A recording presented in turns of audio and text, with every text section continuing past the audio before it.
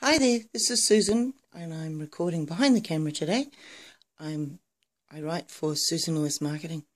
Sometimes it gets a bit annoying working in the same space. So this is what I'm going to do. It's going to take me a couple of days. See this bench here, all right? That is going here. Right. The ele electricity plugs are down there, so I've got to save those.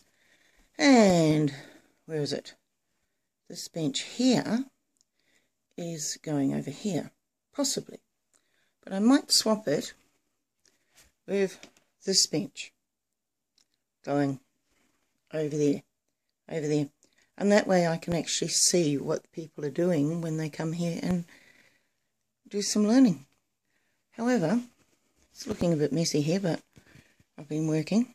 Um, this one here is staying here that one there is staying there. And that one there is going somewhere, possibly here. All right. Well, that's it in theory. It'll probably end up something totally different. This is Susan from Susan Lewis Marketing. Sometimes you need to make the change. And even if it's your workspace. All right. And yeah, all right, you have a fantastic day. Bye.